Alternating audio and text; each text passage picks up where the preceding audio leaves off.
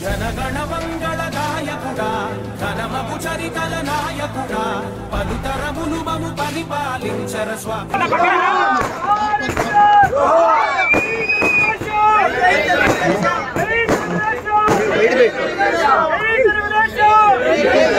అన్న మీ చేతులు దిగా అన్న మీ చేతులు దిగా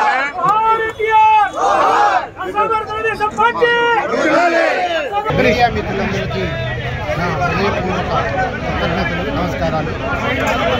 ఈరోజు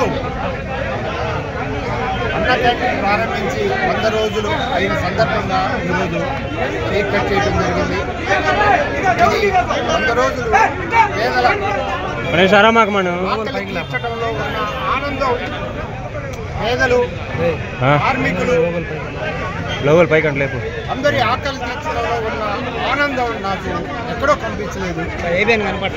నా జీవితంలో ఇది మరుపురాని రోజు. పేదల ఆకలి తీర్చడంలో చాలా పైకి. సంతృప్తి ఉంది.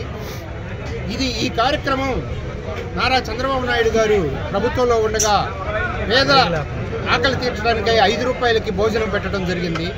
దాన్ని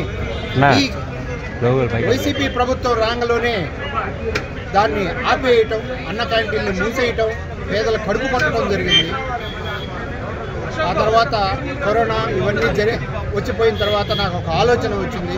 ఈ పేదల ఆకలి మనం ఎందుకు పర్సనల్గా తీర్చకూడదు అనే ఆలోచనతో నేను ఈ కార్యక్రమాన్ని చేపట్టడం జరిగింది.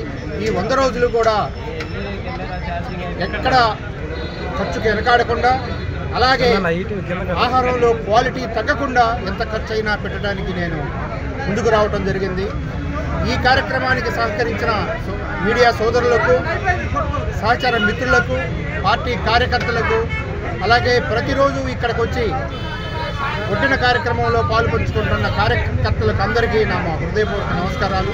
తర్వాత దీన్ని రాబోయే ఎలక్షన్స్ అయిపోయి తెలుగుదేశం పార్టీ గవర్నమెంట్ ఏర్పాటు చేసి అన్న క్యాంటీన్లు స్టార్ట్ చేసేంత వరకు కూడా అప్రచేతంగా మేము ఈ కార్యక్రమాన్ని కొనసాగిస్తామని హామీ ఇస్తూ నాకు ఈ అవకాశం ఇచ్చిన అందరికీ ధన్యవాదాలు తెలియదు అందరికీ నమస్కారం. అందరికీ పాతికేయ దినోత్సవ శుభాకాంక్షలు ముందుగా. ఇవాళ నసరాబాద్లో అన్నా క్యాంటీన్ వంద రోజు సందర్భంగా ఈ సభ ఏర్పాటు చేయడం జరిగింది. వైసీపీ ప్రభుత్వం వచ్చి నాలుగు నాలుగేళ్ళ తర్వాత నాలుగేళ్ళ నుండి పేదల ఆకలి తీర్చే చంద్రన్న పథకం అన్నా క్యాంటీన్ని మూసేసి పేదలకు కడుపు కొట్టింది. దాన్ని మా నాన్నగారు కడియాల వెంకటేశ్వర గారి ఆధ్వర్యంలో నసరాబాద్లో నిర్వహిస్తూ వంద రోజులుగా ఘనంగా నిర్వహిస్తున్నాం. దానికి సహకరించిన పార్టీ కార్యకర్తలకి మీడియా మిత్రులకి మా చుట్టుపక్కల ఉన్న డాక్టర్ సహో సోదరులకి ఫ్రెండ్స్కి అందరికీ ధన్యవాదాలు.